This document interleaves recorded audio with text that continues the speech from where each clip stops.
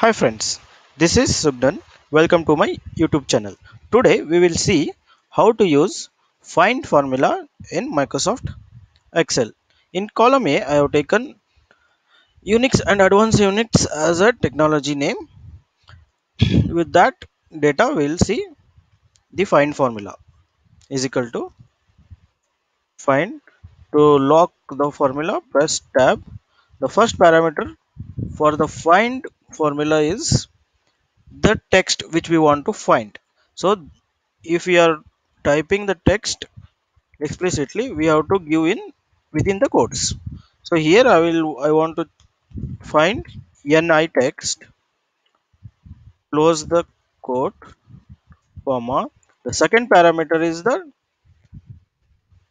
text from which we want to find the pattern present which is present in the first parameter so here i will give the cell reference from a to comma third parameter it will ask for the position. From which position it has to start searching. So i will give 1 press enter okay. The ni is present in the second position. The ni is the text and it is the it will give the position of the first letter. And the find function it is case sensitive. If I drag that formula for the third cell it will give the position of ni position of it will find the ni text. Uh, but it will return the position of first letter of the text which we are finding. So n is at the 11th position of the whole string of advanced Unix. If I change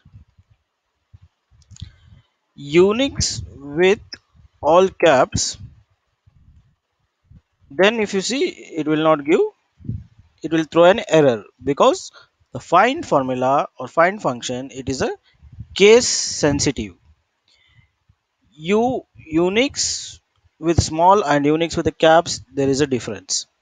So we'll change the formula as we'll give in caps. See, now we'll get an uh, position of